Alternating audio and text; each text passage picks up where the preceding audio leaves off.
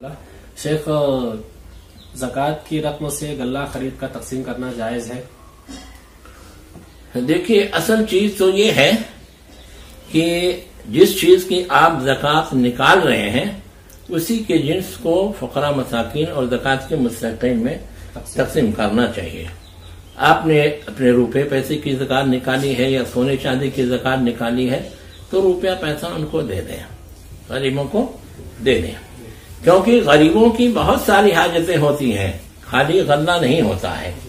हो सकता है उनके पास गल्ला हो, बच्चों का कपड़ा सिलाना हो, फ़ीस भरनी हो, बच्चों के लिए किताबें खरीदनी हो, किसी की शादी ब्याह करनी है, उसके लिए रकम की ज़रूरत है तो आप गल्ला रख के चले आएँगे तो उनकी ज़रूरत पूरी नहीं होगी, फिर एक मतलब जाएँगे गल्ला बेचने, फिर उससे जो पैसा मिलेगा वो कारोबार करेंगे। इस वास्ते जो सोने चांदी के रुपए की जगात निकले तो रुपए पैसे ही देना चाहिए। सर उसमें एक दिक्कत यह है कि जैसे हमारे यहाँ बहुत सारे डिपार्टमेंट्स होते हैं बैतुलमाल अवामी सतह पर लोग चलाते हैं तो ये लोग जक़ात जमा करके फिर उसका गल्ला खरीद करके लोगों में तकसीम करते हैं। जबकि यहाँ दिक्कत यह है कि अगर सामने वाला उसको उसकी ज़रूरत नहीं है तो ऐसी सूरत में जिसने जक़ात इस डिपार्टमेंट में दी है क्या उसकी जक़ात अदा हो जाएगी? देखो जक़ात के बारे में ये है कि अगर इस्लामी बैतुलमाल में जक़ात देने वाले ने जमा कर दिया है। तो वो बलुजिमा हो गया। अब जो लोग गलत तरीके से उसका इस्तेमाल करते हैं उसकी तकसीम करते हैं वो जिम्मेदार होंगे। अदा करने वाला बलुजिमा हो गया। अगर उसको इतमान है कि ये पढ़े लिखे लोग हैं जिम्मेदार लोग हैं हाजी नमाजी हैं इंशाला गलत तरीके से नहीं करेंगे तो वो बलुजिमा हो जाएँगे। इसी तरीके से गले की जक़ात होती है। जब खेत में गले पैदा होते हैं तो उश्र या से उश्र निकाला जाता है। तो ये गले ही गरीबों, मिस्किनों को पहुँचा देना चाहिए।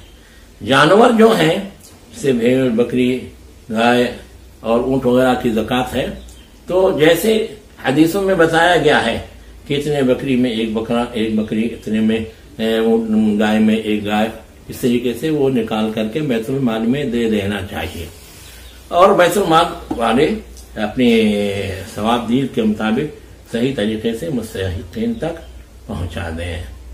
हमेशा गल्ला ही निकालना जिससे रमज़ान में मैं बहुत सुनता हूँ कि लोग पैसे जमा करते हैं जक़ात के और फिर गल्ले की पैकेट बनाते हैं। इतने किलो चावल इतने किलो आटा इतना शकर इतना खजूर इतना फना। हाँ तो वो जक़ात की रकम से आप जो है रमज़ान पैकेट बनाएँगे।